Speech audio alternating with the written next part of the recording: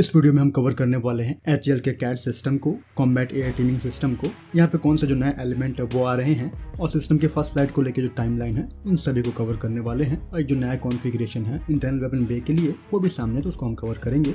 तो यहाँ पे कैट्स में नए एलिमेंट की बात करोगे तो जो ओमका है, यानी कि ऑप्शनली मैन कॉम्बैट एयरक्राफ्ट वो नया एलिमेंट आपको दिखा है। इसका जो एक पोस्टर है, वो लगाया गया था, जहाँ पे एचएल के किरण पे जो मॉडिफिकेशन है और टेक्नोलॉजी का इम्प्लीमेंटेशन है, वो किया जा रहा है। उसमें एक क्रूशल टेक्नोलॉजी है पायलट से अनमैन हैंड की टेक्नोलॉजी वो अचीव की गई है। तो अभी जो किरण है, वो एक टेक्नोलॉजी डेमोन्स्ट्रेटर है, जो कि उन सभी टेक्नोलॉजी को इम्प्लीमेंट करेगा, जो यहाँ पे जाने वाली है। और बाद में जो आपके ऑप्शनली मैंड एयरक्राफ्ट होंगे, वो इसका पार्ट बन जाएँगे। यहाँ पे ग्राफिक में जो आपको मिक ट्वेंटी है, वो दिख रहा है और फॉगर दिख रहा है। दो और एडिशनल एलिमेंट की बात करोगे, जो कि कैट्स में ऐड आपको दिख रहे हैं, वो CATS H L T P है, जो कि turboprop engine based H L E UAV है। इस तरह के यूएवी पे एच एल और डीआरडी ऑलरेडी काम कर रहे हैं तो वो इसका पार्ट होंगे, जो कि फ्लाई कर पाएगा अब ट्वेल्व किलोमीटर ऑल्टीट्यूड पे फोर्टी थाउज़ेंड फीट पे।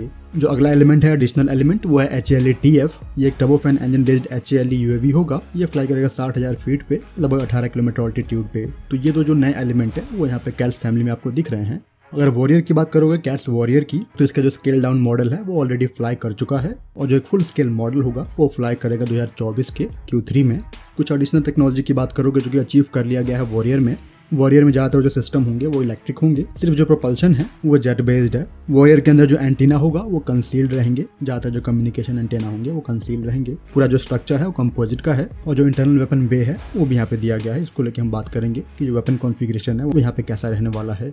स्पेसिफिकेशन की बात करोगे तो जो ऑल ऑफ़ वेट है, वो 1.6 टन का है। सर्विस सीलिंग यहाँ पे 9000 मीटर की है 9 किलोमीटर की। जो विंग स्पैन है, वो 9 मीटर का है और जो एंड्योरेंस रहेगी, वो दो घंटे की रहेगी। टेक्नोलॉजी की बात करोगे, यहाँ पे जो ऑल इलेक्ट्रिक लैंडिंग गियर है, वो डेवलप कर लिया गया है। व्हील्स और ब्रेक बन चुके हैं। जो फ़्लाइट कंट्रोल सिस्टम है एक्चुएटर्स है, वो बना लिए गए हैं। और जो इसका स्ट्रक्चर है, उसको डिज़ाइन किया गया है minus zero point five G से लेके plus two point five G के बीच में ऑपरेट होने में।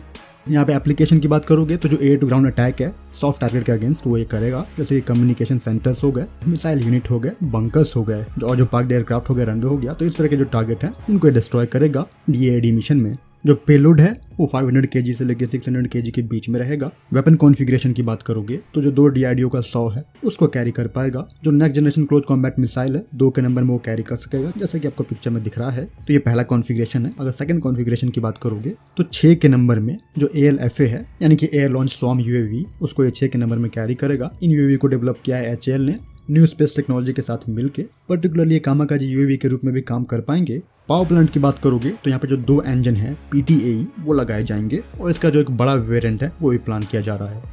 अगर इंजन की बात करोगे तो ये पायलटलेस टारगेट एयरक्राफ्ट का इंजन है single spool pure turbojet engine है। इसको डेवलप किया एचएल के ए ने। एक्जियल कंप्रेसर का ये इस्तेमाल करता है, जहाँ पे जो रेटेड थ्रस्ट है, वो थ्री एटी के जी का है। इसके लिए जो मैक्सिमम फ्लाइंग ऑल्टीट्यूड है, वो नाइन थाउज़ेंड मीटर का ही है, जितनी रिक्वायर्ड है, और जो मैक्स एयर स्पीड है, वो ज़ीरो पॉइंट सेवन मार्क की है यहाँ पे। तो यहाँ पे जो इंजन का ड्राइव वेट है, वो सेवेंटी टू के से नीचे का है। सो ये जो इंजन है, वो कैस वॉरियर में जाएगा? वॉरियर में जो एक ऐसा रेडार है, वो भी रहेगा इसके नोज़ पे, जिसकी जो रेंज रहेगी, वो अप टू हंड्रेड किलोमीटर तक रहेगी। और ये जो रेडार है, वो आपको असिस्ट करने जा रहा है एक क्लोज प्रिसीजन के साथ स्ट्राइक करने में, चाहे वो ग्राउंड टारगेट हो या फिर एयर टू एयर टारगेट हो। तो होपफुल जो पहली फ़्लाइट है, वो दो में आपको दिखेगी एक्चुअल सिस्टम की। फ़िलहाल इस वीडियो में इतना ही। जय हिंद।